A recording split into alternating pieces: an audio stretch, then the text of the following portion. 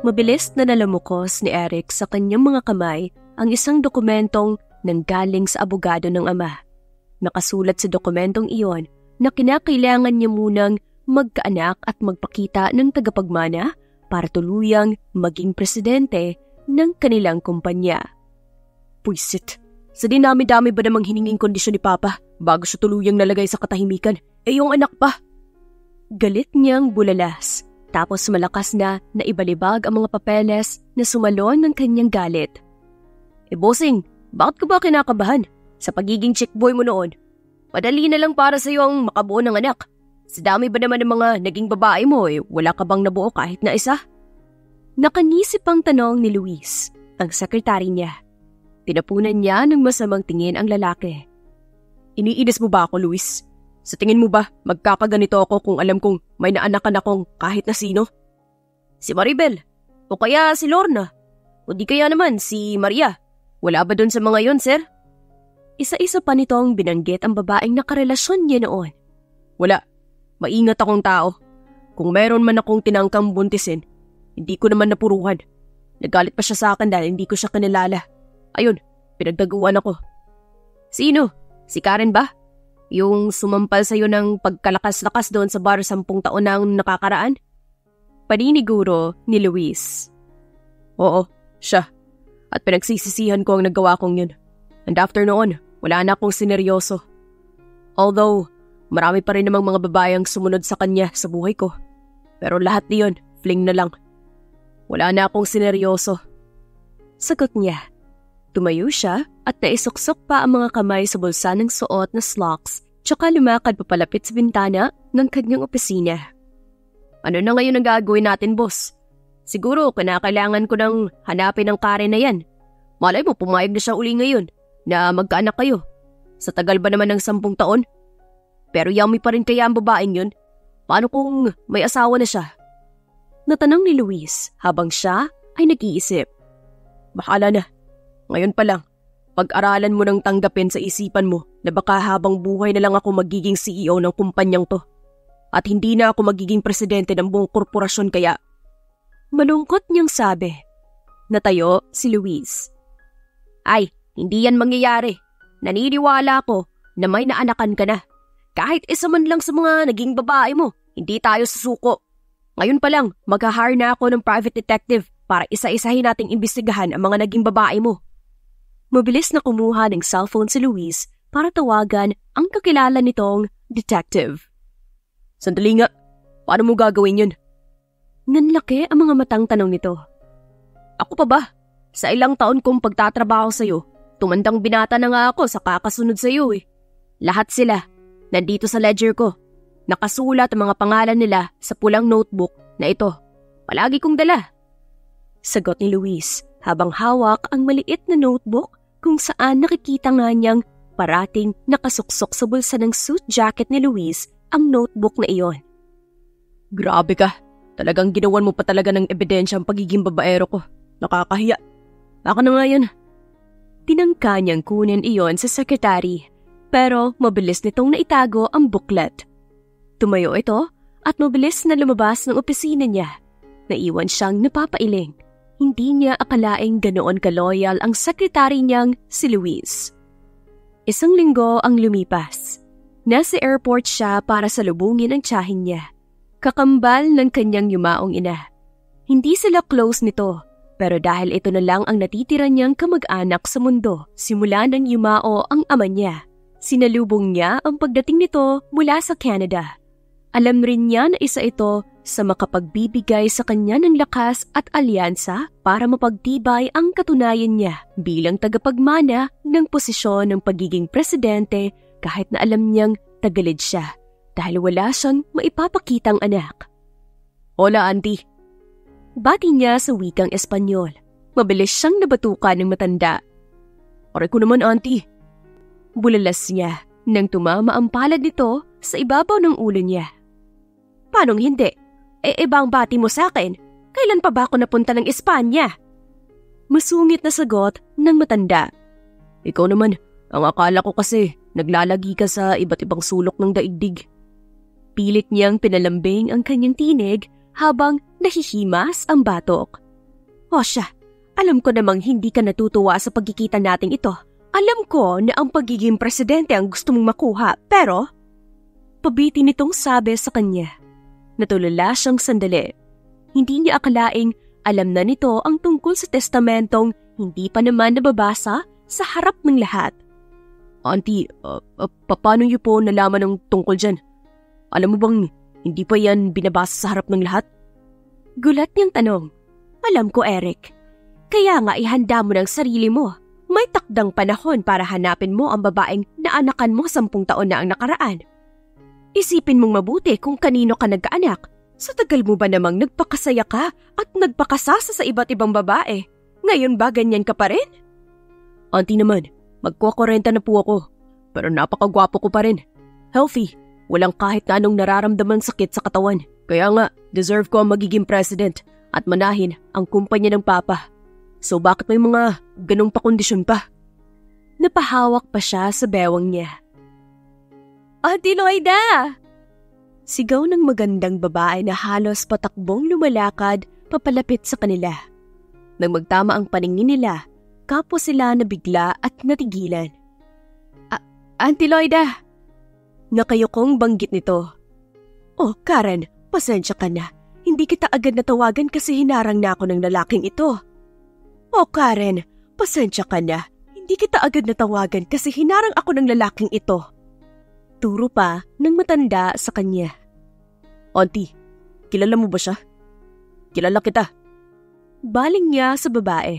Nakita niyang tila pinamutlaan ito ng mukha at hindi agad nakasagot. Oh, really? Kilala mo ang babaeng matagal ko ng caregiver at ngayon isa na rin siyang CEO ng sarili niyang kumpanya. Sa katunayan, she is the one shareholder sa corporation.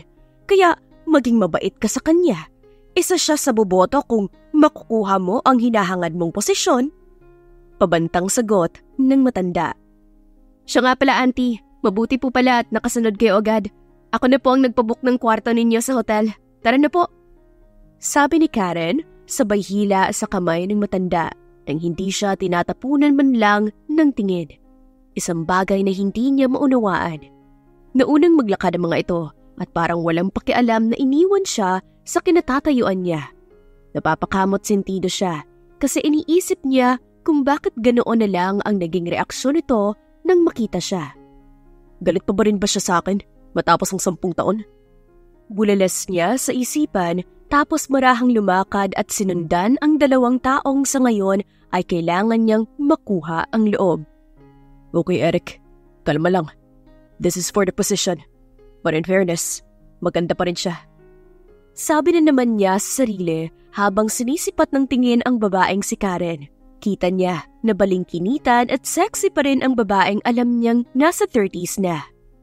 Sumakay ang dalawa sa sasakyan na dala ni Karen. Hindi na niya nahabol kaya tinawagan na lang niya si Luis. Iyon ay para alamin agad nito kung saang hotel nag-check-in ang auntie niya. Kasama ang babaeng hindi niya inaakalang nasa poder pala ng tiyahin.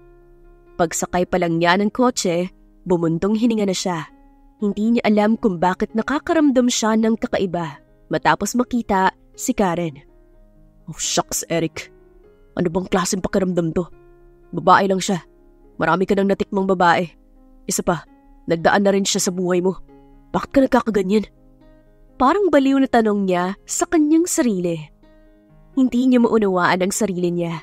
Para bang tumibok ng mabilis ang puso niya nang masilayan ang dating kasintahan na hindi niya kinilala sa harap ng marami.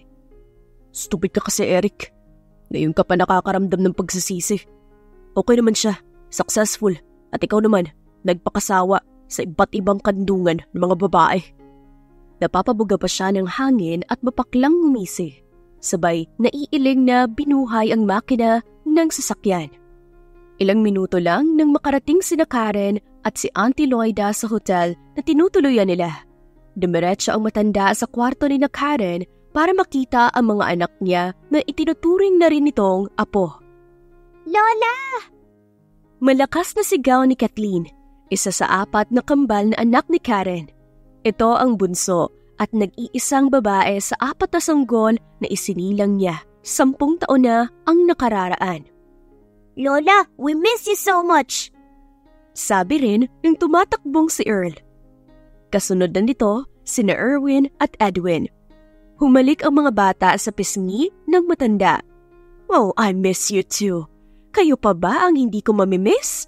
Sobrang miss na miss ko kaya kayo. Kaya nga one week pa lang kayong nakaalis ay nagmamadali na rin akong pumarito. Sabi ng matanda sa mga bata.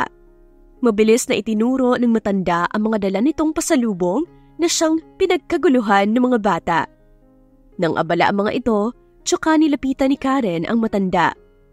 Mabuti na lang iha, ipinatawag ako ng lawyer ng yumao kong bayaw. Ang asawa ng aking kambal, may kailangang ayusin. Paliwanag ng matanda kay Karen.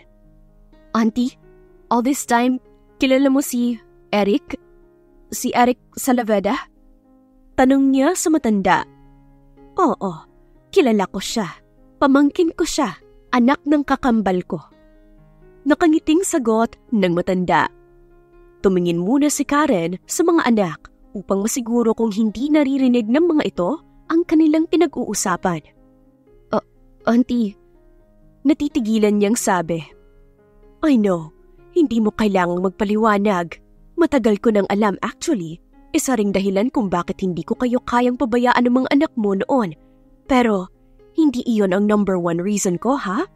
Kahit na ano at sino pa ang ama nila, ganon pa rin ang gagawin ko. I am willing to help you, no matter what, okay? Marahang hinaplos ng isang daliri nito ang mapupulang pisngi ni Karen. Habang nag-uusap si Naginang Loida at Karen, napansin sila ng mga bata. Kaya kanya-kanya ang mga ito ng lapit sa isa't isa at nag-uusap din ng sarilinan. Hey guys, ano, may nasense ako. Sa tingin ko, alam na ni Lola Loida na lola talaga natin siya. At ang pinaka nakakagulat sa mga nararamdaman ko, mukhang nagkita na ang magaling nating ama at si mommy. Sabi ng panganay sa lahat, si Erwin. Ito ang pinakamatalino sa kanilang apat. Kitang-kita ni Karen na sa lahat ng anak nila ni Eric, si Erwin ang nakamana ng katalinuhan ng ama. Naniniwala ako sa sinabi ni Kuya Erwin. Pagsang-ayon naman ni Edwin. Eh ano nang gagawin natin ngayon?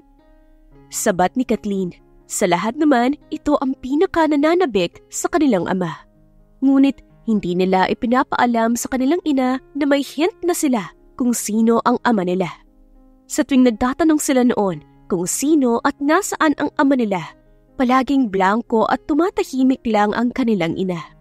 Nauunawaan nilang masakit at mahirap ang pinagdadaanan ng ina nila. Kaya hindi nito magawang sabihin kung sino at nasaan ang daddy nila. Alam mo kuya, sa tingin ko, mahal na mahal pa rin ni mommy si daddy. Sentimiento ni Earl, ang ikatlo sa apat na kambal sa lahat, si Earl naman ang palaging nakakaintindi sa nararamdaman ng kanilang ina. Oo, alam namin. Nararamdaman din namin. Sagot ni Erwin. Ni minsan, hindi sinabi ni mommy na patay na ang daddy, hindi ba? Di katulad ng mga napapanood natin sa telenovela. Yung mommy sinasabi sa anak nila na, patay na ang daddy ninyo at huwag ninyo nang hanapin pa. Sabi ni Edwin na iniba pa ang boses para gayahin ang mga linyahan sa mga napapanood sa TV. Kaya nga, hanapin na natin ang daddy at gusto ko na siyang mayakap. Sabi ni Kathleen. Oo, kaya huwag kayong maingay ha. Bukas, kapag umalis na mommy at lola, lalabas tayo para hanapin siya. Sabi ni Erwin na siyang gumagawa ng plano para makita ang ama nila. Pero di tulad ni Kathleen, iba ang plano ng mga kapatid nitong lalaki. Iyon ay ang parusahan ang ama nila dahil sa pagpapaiyak nito sa kanilang ina. Kinabukasan, umalis nga si Karen kasabay ni Auntie Loida. Pagkaalis pa lang ng dalawang nakatatanda, umariban na rin ng labas ang tatlong lalaki. Kuya Erwin, tama ba na iniwan natin si Kathleen? Mag-isa lang doon. Nag-aalalang tanong ni Edwin sa kuya nila. Edwin, she's already 10 years old, like us. So ano pang ipinag-aalala mo? Hindi naman tayo pinalaking maarte at walang alam sa buhay. Alam ko, kaya na niya ang sarili niya. Sagot ni Erwin sa kakambal na si Edwin. Yeah, right. Tama si Kuya Erwin. Kaya tara na. Baka magising pa siya at mag-iiyak na parang tatlong taong gulang. Pagkampe ni Earl sa sinabi ng kuya nila. Umalis nga sila, ngunit maling pintuan ang nalabasan nila. Sa halip na sa bukana ng lobby, sa parking space sila napunta. Ang akala nila may taxi na dumaraan doon. Siya namang dating ng sasakyan ni Eric sa hotel. Pagkababa niya ng kotse niya, nakita niya ang tatlong batang lalaki na pumaparan ng sasakyan. Hey guys, walang taxi na daraan dito. This is a private lane for the VIP vehicle. Sabi ni Eric sa mga bata. Tumingin lang ang mga bata sa kanya. Napansin niyang natigilan ang mga ito at nakatitig lang sa mukha niya. Oh, Is that you, Eric Salaveda? Nagulat siya nang magsalita ang isa sa mga batang pinagsabihan niya. Diretso ang tingin nito sa mga mata niya. Tapos, ginaya pa nito ang standing niya at isinuksok din ang isang kamay sa bulsa ng suot nitong pantalon tulad ng sa kanya. Aba, ayos tong batang to ah. Parang ginagaya pa ako. Bulong niya na narinig nito. Excuse me, hindi kita ginagaya. Ganito talagang mga kilos at galaw ko. Baka ikaw nanggagaya. Nakakunot ang noon ni Erwin na sinagot si Eric habang nagpapalaki ng boses. Bahagya siyang natawa. Okay ka I think 10 years old ka pa lang. Okay ang galawan ah. Sinong papa mo? Nang maisumbong kita. Nakataas ang kilay na sabi ni Eric sa batang hindi niya alam ay anak niya pala. Wala po kaming daddy. Kasi po, yung daddy namin mahilig mag-love-love ng iba't ibang babae. Ano ngang tawag doon, kuya? Sabat na sagot ni Earl, tapos binalingan ang kakambal. Womanizer! Nakasimangot at tugon ng dalawang batang lalaki habang masama ang tingin na ipinukol sa kanya. Kaya ako, di ako tutulad sa kanya. Isang girl lang ang mamahalin ko paglaki ko at never ko ring sasaktan. Nakangusong segunda ni Earl. Parang kayo po. Siguro, womanizer din po kayo. Sabat din ni Edwin na ituro niya ang sarili. Ako? Tanong niya. Sabay-sabay namang tumango ang tatlong bata. Ang judgmental niyo naman. Di naman porke gwapo ako at matipuno. E womanizer agad. Masama yan ah. Yan bang itinuro ng mami ninyo sa inyo? Nakataas ang kilay na tanong ni Eric sa mga bata. Di po. Mabait po ang mami namin. Sabay-sabay nasabi ng tatlong bata at sinugod pa siya ni Edwin. Sinuntok siya nito sa kanyang hita. Medyo nasaktan siya pero pinigilan niya ang sarili na mainis at magpakita ng pagkadisgusto sa mga ito. Habang tinititigan ang batang si Edwin, may nakikita siya sa mga mata nito. Nakikita niya ang sarili niya noong ganoong edad lamang din siya. Impulsive siya at hindi rin marunong magpigil ugali na nakuha sa kanya ni Edwin. Bumuntong hininga muna siya bago nagsalita. Okay, ganito na lang. Saan ba kayo pupunta? Ihahatid ko na kayo. Tanong niya sa mga bata na biglang nagbaba ng tono. Pasuyo ang pagtatanong niya sa mga ito, kaya naman parang lumambot din sa kanya ang mga bata. Talaga po? Gamit itong Ferrari na kotse? Nanlalaki ang mga mata na tanong ni Earl. Mahilig kasi si Earl sa mga sasakyan, bagay na damanan nito sa kanya. Earl, don't forget our mission. Di na tayo pinahirapan ng pagkakataon, kaya tara na, para malaman natin ang weakness ng ama natin. Bulong ni Erwin sa kapatid na si Earl.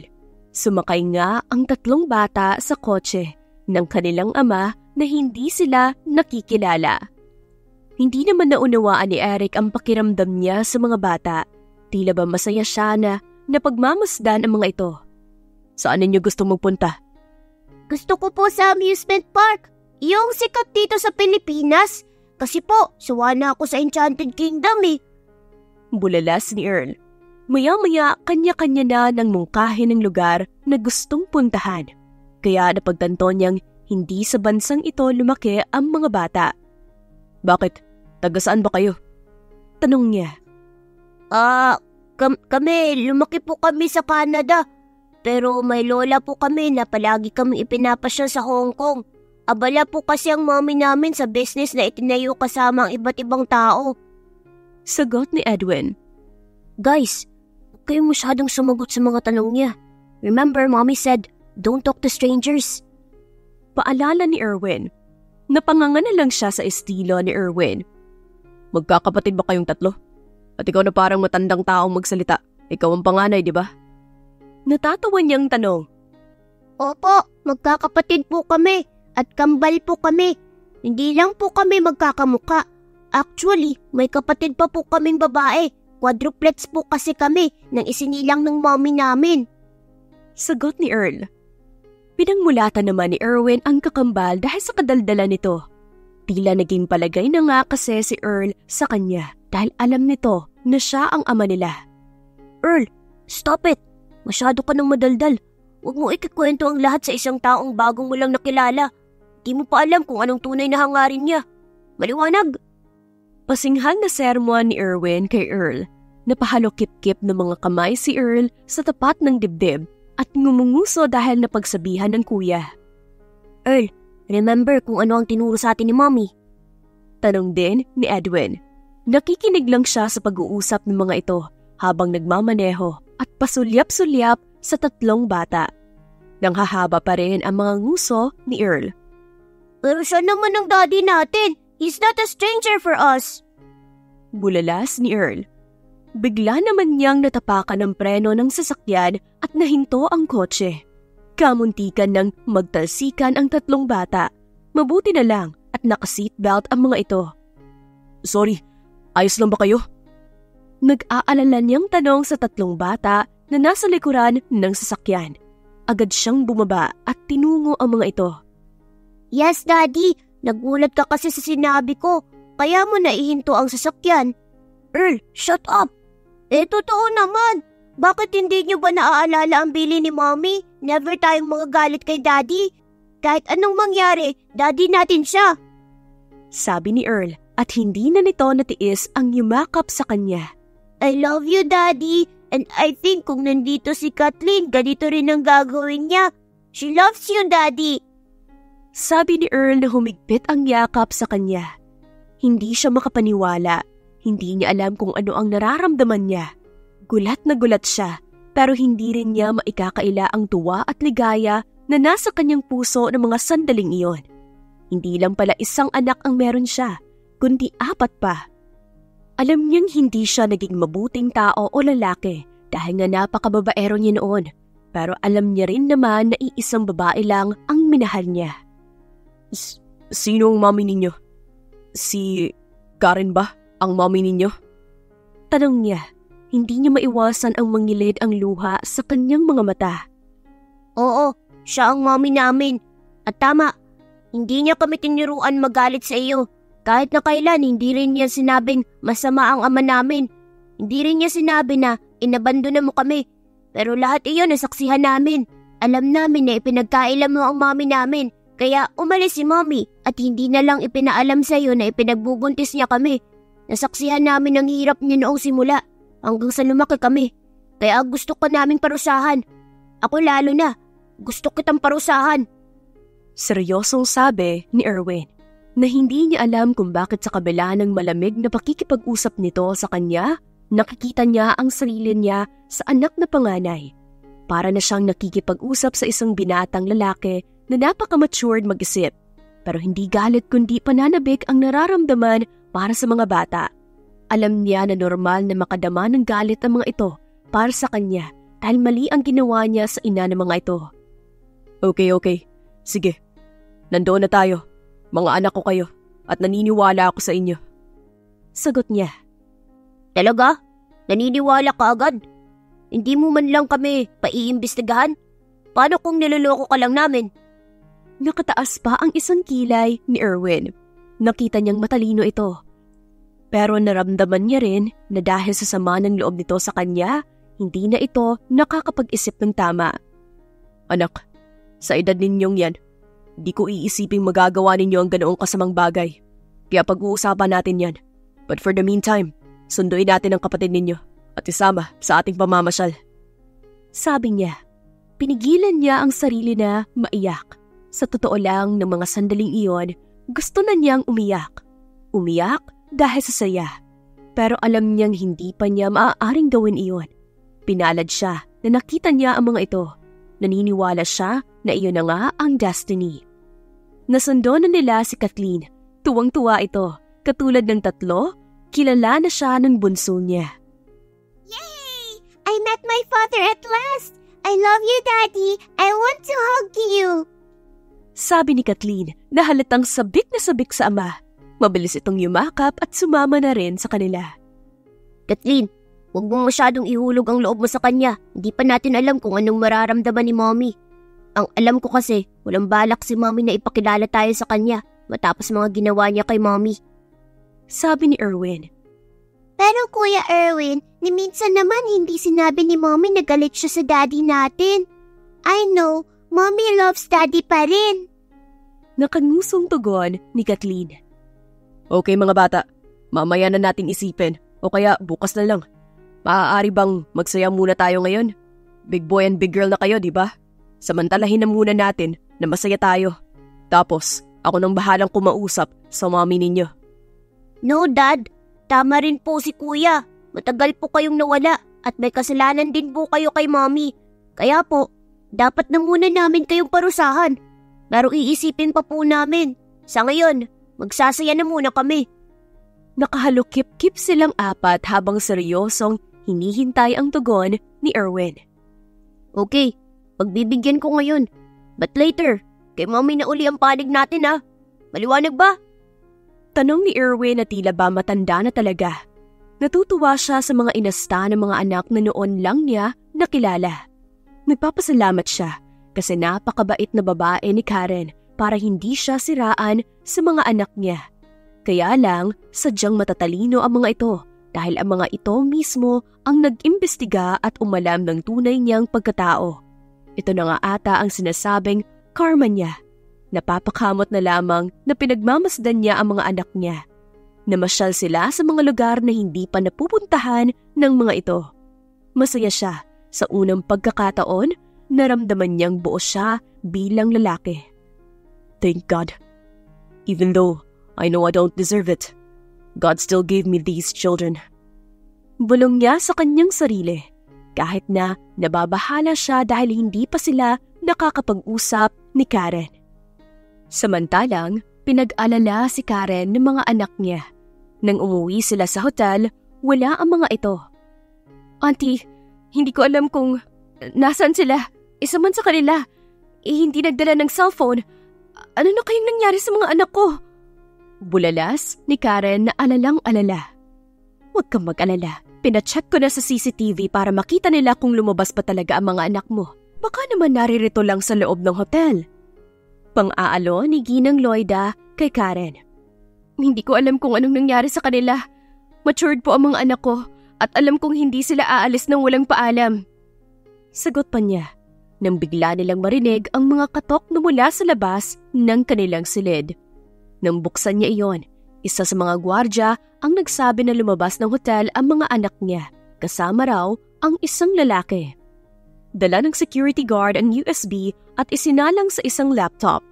Nang tignan nila sa CCTV footage, napatakip na lamang siya ng dalawang palad nang mapagsino ang lalaking kumuha sa mga anak niya. Si Eric? Si Eric ang kumuha sa mga anak ko! Bulalas ni Karen. Bakit nangyari ito? Paanong nalaman ni Eric na may mga anak kayo? Alam ba niya ang totoo?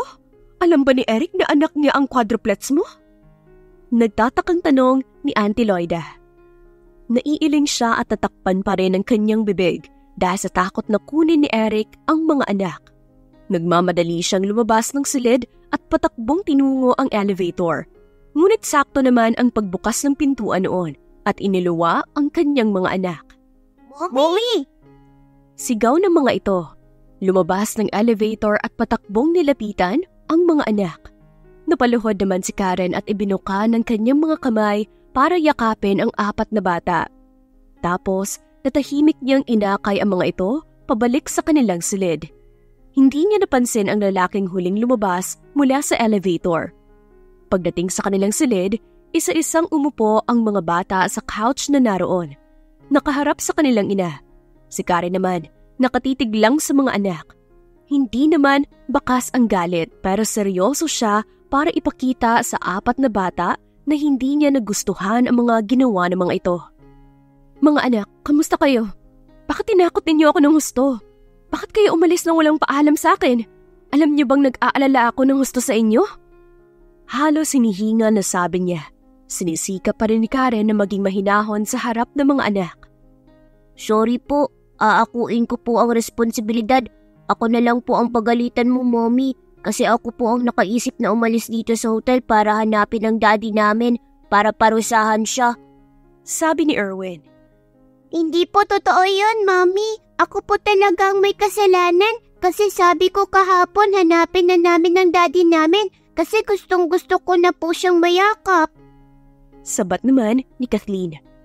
Hindi po, mommy. Ang totoo po niyan, ako po talaga ang may kasalanan. Ako po ang kumumbinsi sa kanila.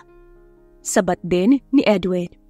Hindi po, ako po talaga kasi inaya ko si daddy sa amusement park at ako po talaga ang unang nagtapat kay daddy na siya ang daddy namin. Nagulat nga po si daddy eh. Pero mommy, ayaw mo po ba talaga kay daddy? Tanong ni Earl. Earl, hindi ba nag-usap na tayo? Hindi natin pwedeng ibigay agad si mommy kay daddy kasi baka mamaya paiyakin na naman niya si mommy. Gusto mo ba yun? Dapat talaga parusahan na muna natin si daddy para hindi na niya uulitin ang pagiging womanizer niya. Erwin! Malakas ding sigaw ni Karen para sawayin ang anak. Nanlalaki ang mga mata ng ina sa anak niyang panganay.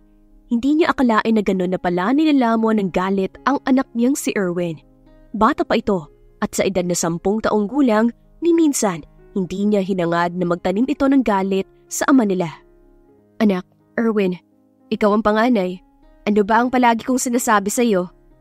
Nagsimulang suminghot si Erwin. So, sorry po, Mommy. Alam ko pong palagi mong sinasabi na mabuting tao ang daddy namin.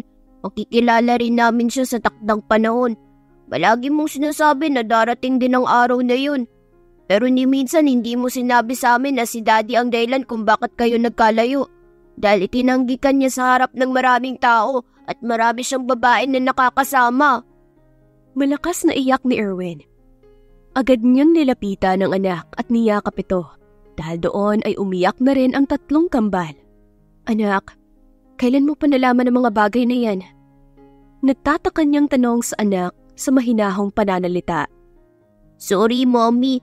Aksidente ko pong napulot ang lumang diary mo. Itinapon na po yun kasama ng mga lumang gamit mo sa Canada bago tayo umuwi rito. Nakuha ko po yun at nabasa ko kasi na-curious ako. Nung una ayaw ko po sana basahin pero nakita ko po doon na nahulog ang isang picture ng lalaki. Tapos po, nakasulat daddy ng mga anak ko. Nakasulat din po ang real name niya sa likod ng picture. Kaya po naging interesado po akong basahin yun at nabasa ko po doon na 10 years ago pinagkaila ka ni daddy and after nun umalis ka na at hindi na ipinaalam sa kanya na ipinagbubuntis mo kami. Dahil po doon nahirapan po kayo dahil wala siya hanggang sa ipanganak mo kami. Sabi pa ni Erwin habang umiiyak. Naitakip pa nito ang kamay sa mga mata. Nayakap niya ng mahigpit si Erwin. Hindi niya akalain na ang diary niya na tinangkanan niyang itapon dahil ninais niyang kalimutan ang lahat ng masasakit na alaala ay makukuha ng anak. Dahilan para mabago ang pagtingin nito sa ama. I'm sorry anak. Kaya nga hindi ko gusto na ipaalam sa inyong lahat kasi ayokong magtanim kayo ng galit sa inyong ama. Alam ko kasing kayo rin ang mahihirapan. Sabi pa niya habang pinupunasan ng mga luha sa mga mata nito. Patawarin ninyo ako. Biglang sabi ng isang pamilyar na tinig sa kanilang likuran. Lahat sila ay napatingin sa nagsasalita buhat sa bukana ng pintuan. Doon nakita niya si Eric. Gwapo pa rin ito katulad ng dati. Walang pinagbago kahit na nakikita niyang tila pumuti na ilang hibla ng buhok nito. I'm sorry Karen. Kung alam ko lang ang lahat, hindi ko sana ginawa iyon. May dahilan ako. Pero hindi totoo na nalimutan kita. Alam mo yan, sa lahat ng babae, tayo ang nagkaroon ng matagal at malalim na relasyon. Kung ganun, bakit? Naitanong niya habang pinupunasan ang kanyang mga luha. Ah, mabuti pa, ilalabas ko muna ang mga bata. Sabat ni Auntie Loida na kanina pa rin naroon at nakatunghay lamang sa mga nangyayari. Agad nitong inaya ang mga kambal at lumabas nga ang mga ito sa silid na iyon. Ayaw pa sanang sumama ni Erwin pero sumunod na lang rin ito sa mga kapatid.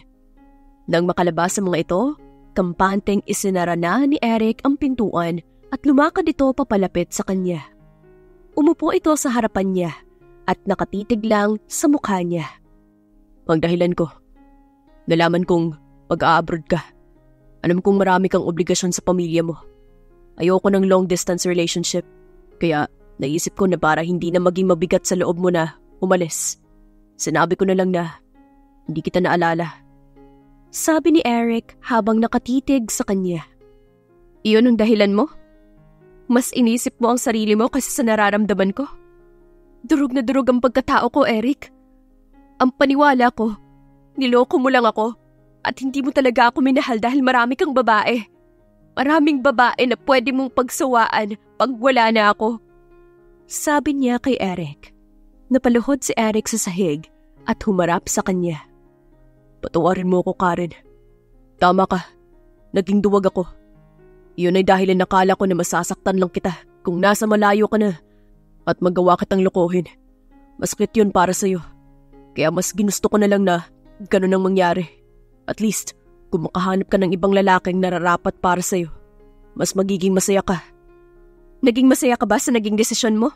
Hindi mo man lang naisip ang mararamdaman ko? Eh ano kung nalaman mong aalis ako? Sana man lang sinubukan mo kong kausapin o tanungin o pinigilan. Alam mo bang kaya ako nakipagkita sa'yo para sabihin buntis ako at tanungin ka kung ano ang gagawin natin? Pero dinurog mo ako sa mga salita lang. Kilala ba kita? Sorry sa dami ng babae ko. Hindi kita maalala. Inulit pa niya ang mga masakit na salita ni Eric. Sampung taon na ang nakararaan. Hindi ko alam kung anong salita ang sasabihin ko para makuha ang magpapatawad mo. I know it's been too late. Para sabihin, mahal pa rin kita. Kasi baka isipin mo lang na may kailangan ako kaya ako naghahangad ng pagpapatawad mo. Pero sa maniwala ka man sa hindi, masayang masaya ako na nakilala ko ang mga anak ko. At mas magiging masaya ako kung mabubuo tayo. Sabi ni Eric. Anak mo? Napatango si Karen. Yes, anak mo sila. Pero hindi na nga ito ang tamang panahon para intindihin ko pa kung ano ang mga nararamdaman ko. Kasi may mga batang nakaasa sa akin at naniniwala sa bawat gagawin at ikikilos ko. Ayokong lumaki si Erwin na may malalim na galit sa'yo. Siya ang tumatayong leader sa mga kapatid niya at susundin nila at gagayahin ang mga magiging desisyon nito. Sabi pa ni Karen. Kaya nga, hindi kita minabadali. Pero pag-isipan mo, 10 years ang nasayang natin. Sana, makabawi tayo. Sana mabawi ko. Sabi ni Eric. Matapos ang usapan, minabuti na lang muna ni Eric na umalis sa hotel at iwan ang mga anak. Alam niyang hindi rin naman sasama ang mga bata sa kanya. Lalo pa nga at galit pa rin si Erwin sa kanya. Sir, nalaman ko na na may mga anak ka kay Karen. Masiglang sabi ni Luis. Napabuga siya ng hangin at matabang na natawa. Huli ka na sa balita. Sagot niya. Ha? Paano mong nalaman? Si Auntie Loida. Si Auntie Loida palang tumulong kay Karen nung inabandon na ko siya. Buntis siya sa mga anak namin. So ngayon, 10 years old na mga anak ko. Sagot mo muli ni Eric kay Luis. Nanlaki ang mga mata at bibig ni Luis. Eh di okay na bossing. Hindi lang isang tagapagmana mo, kundi apat pa. Ang lakas mo bossing. Anayin mo yun. Sa isang buntisan lang, nakaapat kang anak? Ang galing! Eksairadang bulalas ni Luis. Okay nga sana. Kaya lang bad shot ako sa kanila. Pati na sa mommy nila. Hanggat galit sa akin si Karen, malamang nagalit din sa akin ang mga anak ko. Malungkot na sagot niya. Oh, yan lang ba ang problema? May asawa na bang iba si Karen? Wala. Nag-aatubili niyang sagot. Yun naman pala bossing. Ano pang silbi ng karisma mo sa babae? Di pa ganahin mo uli. Bulalas ni Luis. Kamunti ka na niya itong mabatukan. Alam mo na ngang hindi na ako babaero, di ba?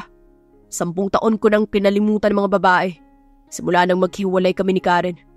Actually, siya nga ang dahilan ng pagbabago ko. At di ko akalain na magbabago ako matapos niyang mawala. Sabi niya kay Luis. Ay, naku bossing. Huwag mo sa akin sabihin yan. Doon mo yan sabihin kay Ma'am Karen. Sagot nito. Kaya nga, nang araw na iyon, nagtungo muli siya sa hotel na tinutuluyan ng mga ito. Ang plano niya, ayain ang mga ito na sa mansyon na nila tumira. Hi, auntie. Um, ano kasi, nandyan ba yung mga bata? Tanong niya sa tsahin niya na kasalukuyang nagbabantay sa mga anak nila. Hay nako, ang mabuti pa, unahin mong suyuin yung ina.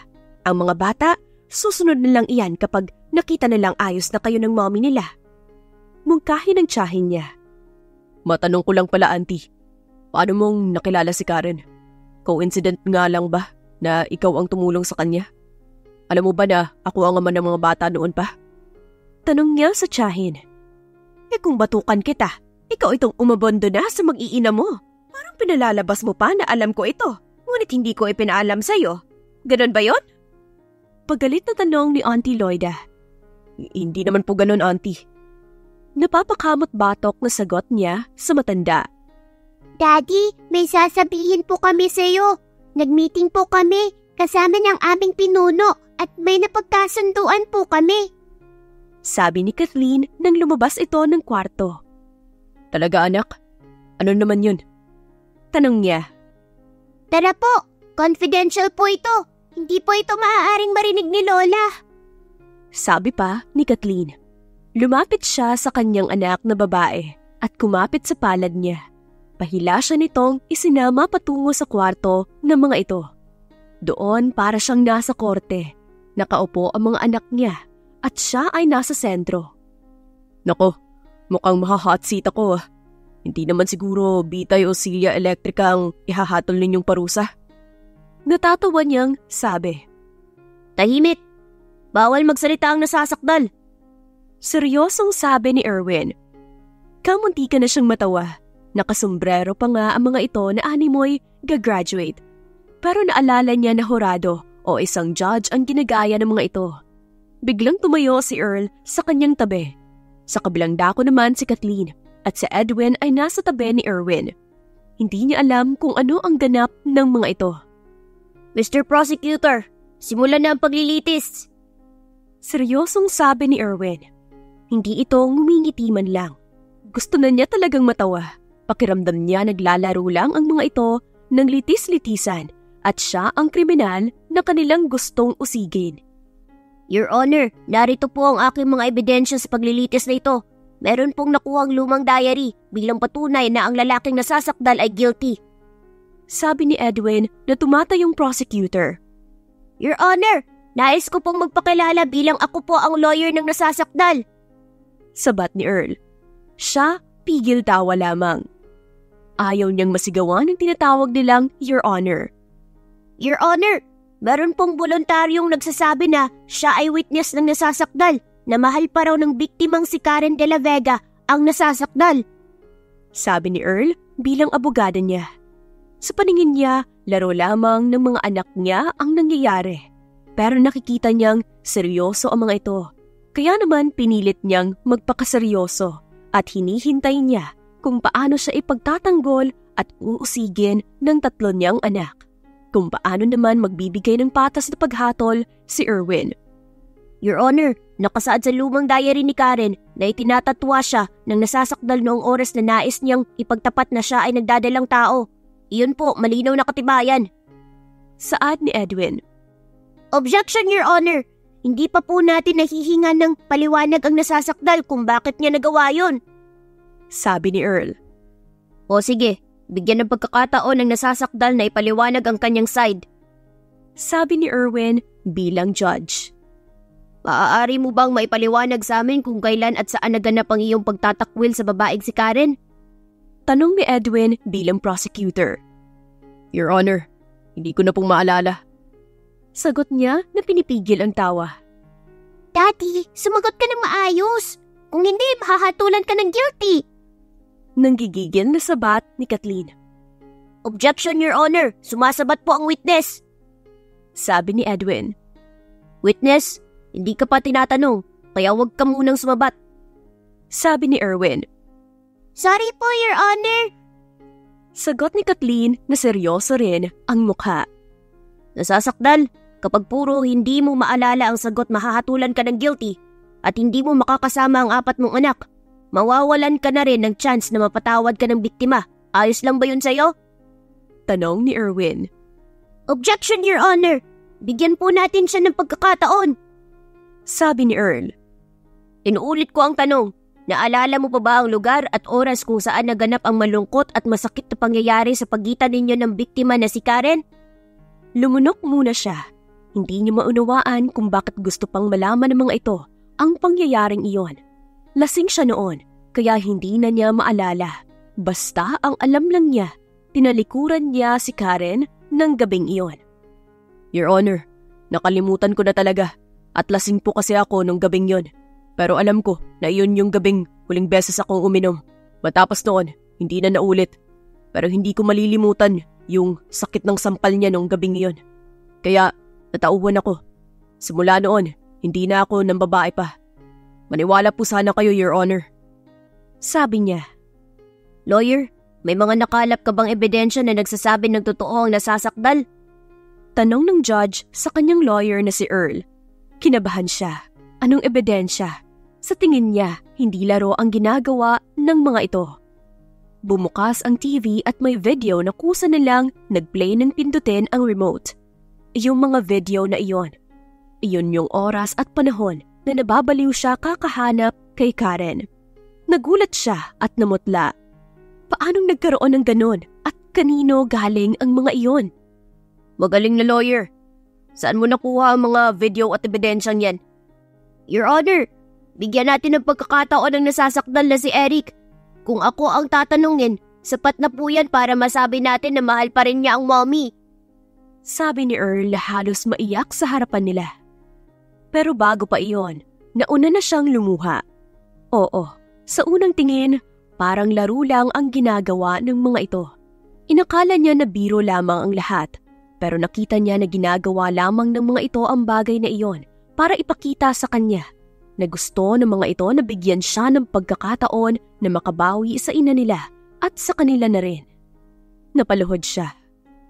Patawarin ninyo ako mga anak. Kung hindi lang ako naging makasarili noon. Kung noong una pa lang, tinalikuran ko na ang mga masama kong ginagawa at binigyan ng chance na magkasama kami ng mommy ninyo. Di na sana'y nangyari ito. Sabi niya habang umaagos ang mga luha. Your Honor, ibigay na po ang hatol mo. Iyong makatarungan. Miss ko na si Daddy. Gusto ko na makasama siya. At alam ko na yun ang gusto mo, hindi ba? Sabat na naman ni Kathleen.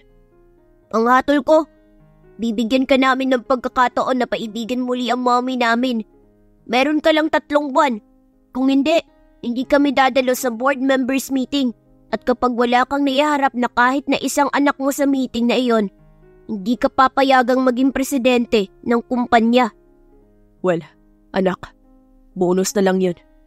Kailangan ko yun para sa kapakanan ninyo. Sa isa sa inyo ang magmamana ng posisyong iyon. Kaya nais kong makuha. Pero merong gano'n na wala. Mahal ko kayo. At gustong mapatawad ninyo ako. Niyakap niya ang dalawang anak na nasa tabi niya. Paano yung kay mommy? Dapat magustuhan ka niya uli at mapatawad dapat po suyuin mo uli si mommy. Alam namin na mahal ka pa rin niya. Sabi ni Erwin. Halika nga Erwin, ang your honor ko. Sa tingin ko, bagay talaga sa iyo magiging judge. Sabay yakap sa anak nang makalapit ito. Matapos ang paglilites na iyon, tinanggap niya ang hatol ng mga anak at iyon ay ang pagpapatawad. Matapos noon, ay nag-usap-usap sila kung paano makukumbinsi ng mga anak ang kanilang ina na pumayag na sumama sila sa mansyon nito. Hindi na rin nakatanggi pa si Karen sa gusto ng mga anak niya. Hindi niya alam kung anong klaseng pambobola ang ginawa ni Eric at naging maganda ang hatol ng mga anak niya sa ama ng mga ito. Nasa mansyon na sila ni Eric. nakapagtataka lang na wala palang gaanong nakatira sa lugar na iyon. Wala ka bang kamag-anak o mga kasambahay dito sa mansyon mo? Napapataas ang kilay na tanong niya kay Eric. On call kasi sila kung magpunta rito. Weekly or monthly. Basta, ang mahalaga, nalilinis ang buong mansyon. Pero mga isang linggo ka namang narito, hindi ba? So, ipagluluto mo kami ng mga bata. Nakangisi niyang sabi. Tumango muna si Karen. I- yung mga anak ko, ipagluluto ko. Pero ikaw? Hindi ko alam. Sabi nito, sabay talikod sa kanya. Ala, Karen naman, nasa iisang bahay lang tayo. Siyempre, kasanay ako sa mga lulutuan mo. Sabi niya, ngunit hindi pa rin siya pinansin ito. Pusit! Pusit! Narinig niyang tawag ni Earl. Ako ba? Opo, ikaw naman talagang tinatawag ko. Sabi ni Earl. Bakit?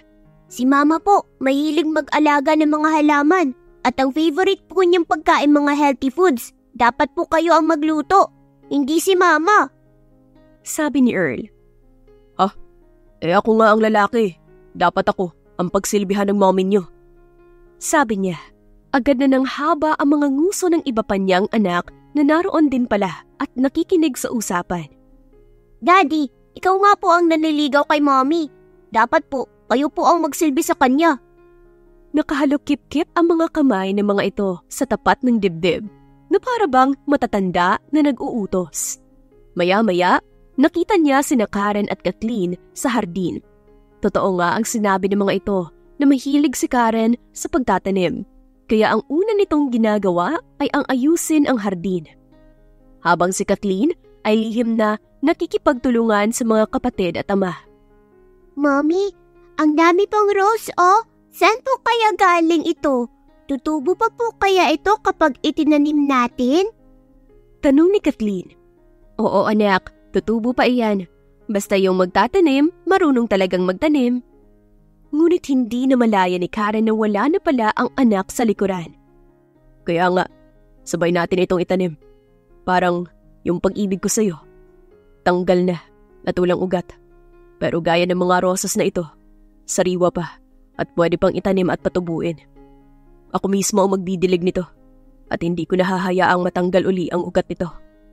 Pwede mo ba akong tulungang itanim muli ang pag-ibig ko sa'yo? Sabi ni Eric. Ano ka ba? Bigla ka nalang sumusulpot. Naaawa lang ako sa bakuran mo. Daig pa kasi ang walang nakatira. Halos lahat ng halaman, lalanta na. Pati ang mga Bermuda grass halos namamatay na rin. Sagot ni Karen. Ngunit tinalikuran na siya nito at nagtuloy sa loob ng kabahayan. Nang mapatingin siya sa mga anak niya, puros malulungkot ang mga ito at nakangusong umiiling. Naisipan niyang mag-aya sa park. Doon ay kumain sila habang naglalaro ang mga bata. May baon silang pagkain at iba't ibang klase ng laruan. Habang ang mga bata ay nagtatakbo, nakita niya si Kathleen na tumatakbo patungo sa kalsada dahil nahabol nito ang alaga nilang aso na si Potpot. Kaya mabilis niya itong sinundan dahil nag-aalala siya na baka mapahamak ang anak. Hindi nga siya nagkamali dahil may mabilis na sasakyan ang kasalukuyang umaandar patungo sa direksyon ni Kathleen. Kathleen! Malakas na sigaw ni Eric. Samantalang si Karen ay napapikit na lamang dahil sa malayo siya sa kinaroroonan ng anak. Nang magmulat ng mga mata si Karen, malakas na kabog ng dibdib niya ang tangi niyang naririnig. Mabilis ang mga pangyayari at hindi nila iyon nagawang pigilan. Mommy! Mommy! Sigaw ni Kathleen na siyang gumising sa pagkashock niya. Si Daddy! Mommy! Sigaw ng mga batang umiiyak. Nang mahimasmasan ay agad niyang nilapitan ang mga anak. Tapos nakita niya si Eric na nakahandusay sa kalsada at walang malay. Mabuti na lang at maagap si Erwin. Mabilis siyang nakatawag ng ambulansya sa emergency hotline. Nasa ospital na sila habang si Eric ay ipinasok sa emergency room. Mommy, ako po yung may kasalanan eh. Sabi ni Kathleen habang umiiyak. No anak, hindi mo yan kasalanan. Daddy loves you so much, kaya huwag kang mag-alala. Sabay yakap sa anak, na nooy sinisisi ang sarili. Eric, magpakatatag ka. Kailangan ka namin. Kailangan kita. I'm really sorry kung nagmatigas pa ako. I promise na babawi ako, kaya sana bumalik ka sa amin. Sabi niya sa kanyang isipan. Hindi niya magawang umiyak ng mga oras na iyon dahil alam niyang kailangan niyang maging matatag. Kapag nakita ng apat niyang anak ang mga luha niya, tiyak na matatakot din ang mga ito. Be strong anak, mga anak. Sabi pa niya at tinawag ang mga ito para yakapin. Hindi po ako iiyak, Mommy. Kaya pwede ka nang umiyak. Pwede kayong umiyak. Big boy na po ako. At ako ang leader. Mananatili po ako matapang para sa paggising ni Daddy. Ipagmamalaki ko sa kanya na naging matapang ako. Kaya Mommy, umiyak ka na. Alam ko po na nag-aalala kayo. Kaya ilabas mo po yan. Sabi ni Erwin. Kuya Erwin, iiyak na ako ha. Kasi di ba sabi mo pwede naman. Natatakot ako eh. Sabi ni Earl. Yumakap ito sa kay Karen at humagulgol. Pati si Edwin ay umiyak na rin sa sinabi ng kanyang panganay na anak na ibsan ang takot nila. Kaya pati siya, hindi na niya napigilang tumulo ang mga luha. Niyakap niya rin si Erwin. Salamat anak. Salamat dahil matapang ka. Hayaan mo, ipagmamalaki ko kayong lahat sa daddy ninyo. At sasabihin kong matatapang ang mga anak namin. Sabi niya habang nakayakap sa mga ito. Samantalang naroon din si Auntie Loida na naluluhang nakatingin sa kanilang mag-iina. Makalipas ang ilang oras na operasyon, lumabas na ang doktor mula sa operating room. Sabay-sabay silang nagsilapitan sa doktor. Kamusta po ang daddy namin? Tanong ni Erwin na siyang pinakakalmado sa lahat. Okay naman siya. Huwag kayong mag-alala. Tinahinan namin ang sugat sa ulo niya. Medyo maraming dugo ang nawala, pero naagapan iyon. Maaari niyo nang ipanatag ang inyong kalooban. Nakangiting sagot ng doktor kay Erwin na siyang tumatayo bilang matatag na kuya sa kanila. Bumaling din ang atensyon nito kay Karen bilang siya ang ina ng mga bata at asawa ng pasyente. Dok, marami pong salamat sa inyo. Sabi niya. Tumango lang ang doktor at umalis na sa kanilang harapan. Lahat sila ay natuwa sa narinig nila na sinabi ng doktor. Dahil sa pangyayaring iyon, na-confine si Eric sa ospital ng halos isang buwan. Mommy, si Kuya Edwin oh, nang iinis eh. Pagising daw po ni Daddy, papagalitan daw po ako. Sumbong ni Kathleen. Anak, hindi iyon. Pagpasensyahan mo na ang Kuya Edwin mo at huwag kayong masyadong maingay. Suway niya sa kanyang mga anak. Mommy, dapat po kasi may kapatid akong girl din po. Sana po kapag magkakababy po kayo ni Daddy, sana po kambal na girl naman po. Para po may kakampi naman ako sa pang-iinis nila. Nakangusong sabi ni Kathleen. Ano ba naman kayo? Kailangan munang magising ng daddy ninyo at mapakasalan ng mommy ninyo bago kayo magkaroon muli ng kapatid. Sabat ni Auntie Loida. Bakit po kaya ganun? Kathleen, huwag ka nang makulit. Kailangan kasi nilang magpakasal para din maging legitimate na tayong anak ni Papa. Tandaan mo, hindi pa natin dala ang apelyido ni Papa, kaya kailangan yun. Paliwanag ni Erwin. Narinig mo ba yung sinabi nila? Kaya dapat ayusin na natin ang kasal natin. Sagot bigla ni Eric, nagising na pala ng mga oras na iyon. Daddy, mabuti po gising na kayo! Sigaw ni Kathleen, ngunit hinarangan ng mga kapatid upang hindi makalapit sa ama. Daddy, oh! Sumbong na naman ito. Kayo talaga. Huwag ninyo nang asarin ang nag-iisa ninyong kakambal na babae. Magmahalan kayo palagi. Sabi ni Eric na inilahad ang mga kamay. Daddy, inaasar lang po namin siya. Masyado pong pikon. Sabat ni Edwin habang nakalapit na rin sa ama.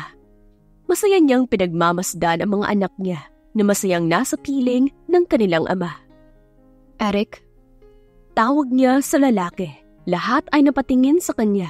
Naluluha pa siya at ngumiti bago nagsalita. Will you marry me? Tanong niya. Natulala si Eric, maging ang mga anak niya. Nakatingin lang dahil hindi nila inaakala na mag-aaya siya ng ganon. I know, hindi na ito para sa akin lang. Nakita ko iyong pagmamahal mo sa amin ng mga anak mo. To the point na kaya mong ibuwis ang buhay mo para sa kanila. I'm sorry kung nagmatigas ako pero sasabihin ko ito sa iyo ngayon. Mahal kita. Mahal na mahal pa rin kita. I love you. Mahina niyang sabi kay Eric. Mga anak, pwede bang bigyan niyo muna kami ng mommy ninyo ng time? Tanong ni Eric sa mga bata. Siyempre po, Daddy. Time na po para i-kiss mo si Mommy. Bulong pa ni Kathleen. Opo, Daddy. Total, nagugutom na kami. Punta muna kami sa kantin ng ospital. Sabi ni Erwin. Tapos sabay-sabay ngang nagsialisa ng apat na bata at nagtungo sa kantin kasama ang kanilang lola. Nang sila na lang dalawa ni Eric, inilahad nito ang mga kamay para palapitin siya at yakapin. Lumapit nga siya at mahigpit na yakap ang ibinigay kay Eric. Talaga bang inaaya mo ko magpakasal? Masuyong tanong ni Eric. Oo naman. Ayaw mo ba? Nakangiting tanong rin niya. Siyempre gusto. Inunahan mo lang ako eh.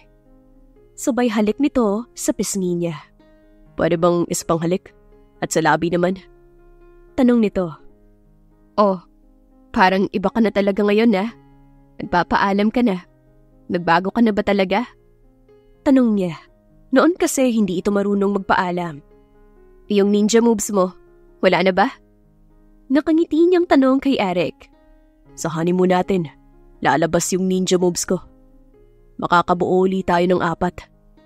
Nakangising sabi ni Eric, nahampas naman ni Karen ang balikat nito at nagkanwari namang nasaktan ang lalaki. Makalipas ang isang buwan, napagpasyahan nilang idaos ang kanilang kasal. Nakalimutan na nila ang iba pa nilang iniisip na problema. Kaya sumambulat iyon bago pa sila ikasal. Busing, nagdedemand ang mga board members lalo na nang malaman nila ang huling testamento na iniwan ng papa mo.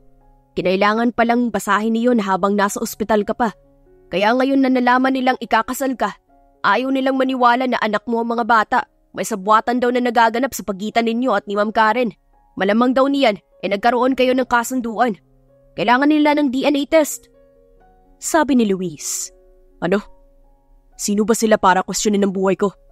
Ang kakapal ng mga mukha nila. Bakit ko gagawin yun? Bossing, may rumors na lumabas sa buong kumpanya. Bakit mo raw aakuin ang mga batang anak ng ex mo? Lalo pa, at hindi mo naman alam kung ikaw ba talaga ang ama. Mas mainam na ipa-DNA test mo na lang sila. Sabi ni Luis. Di ko gagawin yan.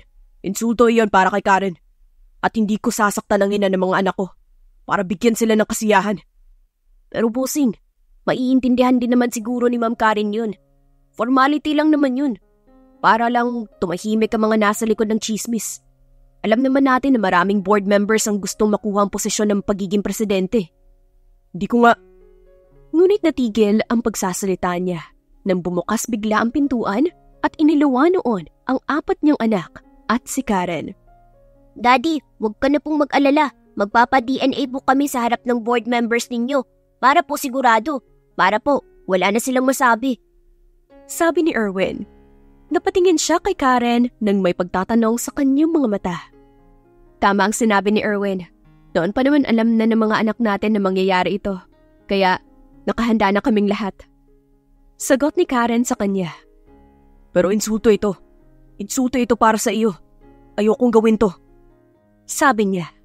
Lumapit si Karen sa kanya kasabay ng mga anak. Okay lang ako. Okay lang sa akin.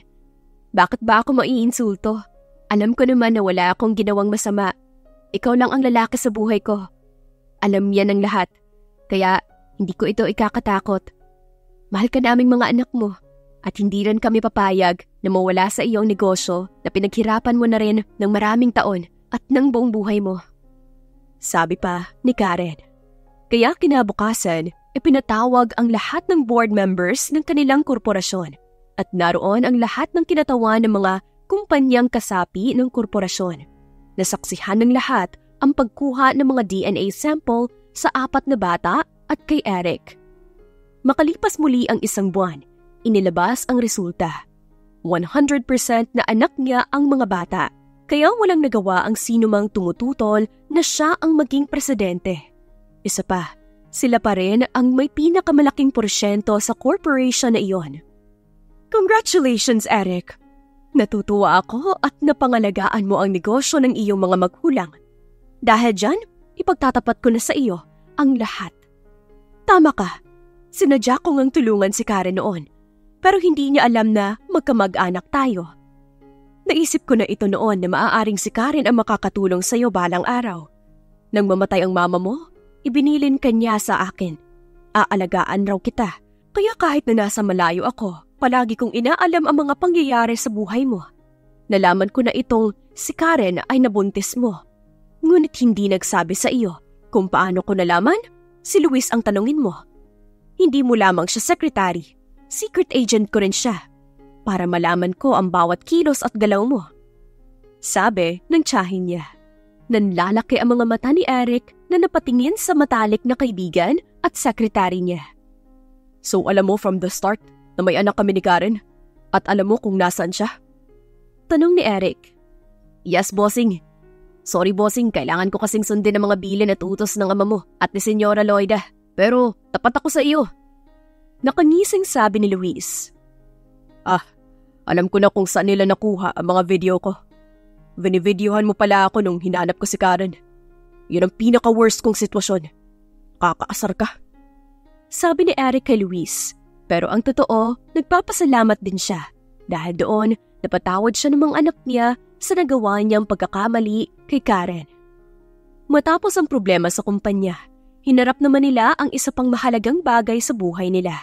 Iyon ay ang iharap sa altar ang pinakamamahal niyang babae. Masaya silang lahat, lalo na ang apat na batang kambal nila. Gwapong-gwapo si Erwin, Earl at Edwin na may kanya-kanyang posisyon sa seremonya. Si Kathleen ang flower girl, habang dala ni Earl ang Bible, at si Edwin naman ang may dala ng mga singsing. Hindi nila akalain na may ilalabas na bagong talento ang panganay nilang si Erwin na siyang tumutugtog ng paborito nilang awitin habang naglalakad si Karen sa gitna ng pulang carpet. At nakatingin lamang siya kay Eric na kasalukuyang nakangiti at masayang masaya. Nang matapos ang mga sinabi ng pari, binigyan sila ng pagkakataong sabihin ang kanilang mensahe sa isa't isa. Noon, akala ko, mabubuhay na lang akong nag-iisa sa mundo. Akala ko, tuluyan ka nang nawala sa buhay ko. Dumating ako sa punto na pinagsisisihan ko ang lahat. Na sana, hindi na lang ako naging mapaglaro at hindi naging duwag na harapin ang ibang klaseng dikta ng pag-ibig. Natakot ako na hindi ko makaya ang long-distance relationship at naging duwag. Pero ang ending, daig ko pa pala ang LDR. Nabuhay akong malayo sa inyo at nangangapa kung makikita pa ba tayo. Isang malaking sorpresa na sa pagkikita natin, may mga anak na tayo at sobra kong pinagsisisihan na hindi ko man lang nakita nang isilang sila at lumaki silang malayo sa akin. Sabi ni Eric habang nakatingin lang sa mga mata ni Karen. Inilapit ni Edwin ang lagayan ng singsing at kinuha iyon ni Eric para isuot sa kanya. Kinuha rin ni Karen ang singsing at isinuot iyon sa palasingsingan ni Eric. Thank you so much. Kasi alam ko, hinintay mo yung panahon at tamang oras para sa ating dalawa. Thank you kasi hindi ka nagpatuloy na humanap ng iba. Kahit na napakarami mong babae noon, naniniwala ako na totoo ang sinabi mo na ako yung huling babae na mamahalin mo. Maraming salamat. Sabi ni Karen na hindi na napigilan ang lumuha. Niyakap na lang ni Eric ang asawa para aluin at tapos hinawakan niya ang dalawang pisngi nito at saka pinakatitigan. Tapos ay hinalikan sa mga labi. Matapos ang halikang iyon, nagtayuan ang mga tao at malakas na nagpalakpakan. Mabuhay ang bagong kasal! Sabi ni Luis at nagpasimuno ng palakpakan. Lahat ay nagtungo sa venue ng reception at sama-sama nilang ipinagdiwang ng masaya ang kanilang kasal. Tapos noon ay nagtuloy na sila sa airport para sa kanilang honeymoon Mommy, Daddy, sigurado po kayo na isasama niyo po kami sa honeymoon ninyo? Tanong ni Erwin. Oo naman mga anak, hindi kami magiging masaya roon kung hindi namin kayo kasama. Sagot ni Karen sa anak na si Erwin Kaya ko na pong alagaan ang mga kapatid ko, Mommy. Hindi na po kami sasama. Kailangan niyo pong magkaroon ng quality time ni Daddy para pagbalik niyo po, may bago na kaming kapatid. Sabi ni Erwin. Erwin naman anak, alam naman ninyo na hindi ako umaalis na hindi ko kayo kasama. Sagot niya sa anak. Mga anak, hindi pwedeng hindi kayo kasama. Okay na ang lahat. Huwag niyo nang isipin na hindi kami magiging masaya. Mas hindi kami magiging masaya kung iiwan namin kayo. Itong mami ninyo, hindi yan makakatulog kapag hindi niya kayo nakikitang natutulog ng maayos. Sabi ni Eric. Nilapitan nito ang panganay na anak na si Erwin. Alam kong matured ka na anak. Salamat. Pero ito na ang oras para maging masaya ka na. Nandito na ako. Salamat sa mga panahong inako mo ang pagiging pinuno sa mga kapatid mo at inalagaan mo sila. Maging nung nasa ospital ako, ikaw ang pinakamatapang. Salamat sa iyo, Erwin. Alam kong alam kong kung hindi ka mabait at matalinong bata, baka malungkot ang mga kapatid mo. Sabi ni Eric. Tama si Daddy kuya. Enjoyin natin ang ating kabataan. 10 years old pa lang tayo, pero parang matanda ka na. Pwede ka nang maging masaya kuya. Aalagaan na tayo ni Daddy. Sabi rin ni Edwin. Doon pa lang, pumalahaw ng iyak si Erwin. Nako, tayo na nga, naiiyak na naman ako. Sabi ni Karen na masayang lumapit sa kanila at nakiyakap din. Sa bansang Canada sila nag-honeymoon. Naroon kasi ang bahay nila kung saan niya pinalaki ng sabay-sabay ang mga bata. Nadala niya noon ang mga anak sa Canada sa tulong ni Auntie Loida. Kaya doon, nakita na rin ni Eric kung saan niya pinalaki ang kambal nila. Nang gumabi na at nagpapahinga na sila buwat sa isang buong araw na pamamasyal at masayang pagbabonding, sa wakas, nakatulog na ang mga bata. Nasa veranda siya ng kanilang silid. Nakatunghay siya sa buong bakuran at inaalala iyong panahon na maliliit pa ang mga bata at iyong pangarap niya na sana ay mabuo ang pamilya niya. Anong iniisip mo? Tanong ni Eric na hindi niya namalayang nasa likuran na pala niya. Wala lang. Naalala ko lang yung noon na napunta ako rito na kami lang ng mga anak mo. Malungkot ako pero nakayanan ko naman sa tulong ng Diyos at ni Auntie Loida. Kaya nga ngayon, babawi ako sa lahat ng mga pagkukulang ko. Mamahalin kita at ipaparanas ko sa inyo ang masaya at buong pamilya. Sagot ni Eric. Tapos noon ay binuhat siya ng asawa at dinala sa kanilang kama para gawin ang kanilang honeymoon. Makalipas ang isang taon, nakapagsilang muli si Karen ng kambal na babae, tulad ng nais ni Kathleen. Kaya ito ang pinakamasaya. Mommy, mabuti na lang po at girl na naging baby natin. Ako po ang pinakamasayang ate sa buong mundo. Sabi ni Kathleen. Kami naman ang pinakamasayang kuya kasi madadagdagan na ang aming aasarin. Biro ni na Edwin at Earl kay Kathleen. Mommy, Tiyak na lalaking mababait na bata si Nakira at Karil. Kaya proud po ako na magiging kapatid sila. Sabi ni Erwin. Kami rin, proud na magiging kapatid ang mga baby natin. Kaya mommy, kaya mommy, daddy, tutulong po kami sa pag-aalaga sa kanila. Okay, ang mabuti pa, tayong apat na ang magbabantay kay baby. Para si mommy, makapagpahinga na. Alam niyo naman di ba, nabuntis uli ang mommy ninyo. Kaya pagpapahingahin na natin siya. Sabi ni Eric. Simula nga noon, namuhay na sila ng masaya habang hinihintay na madagdagan muli ang kanilang mga miyembro ng kanilang pamilya. Wakas.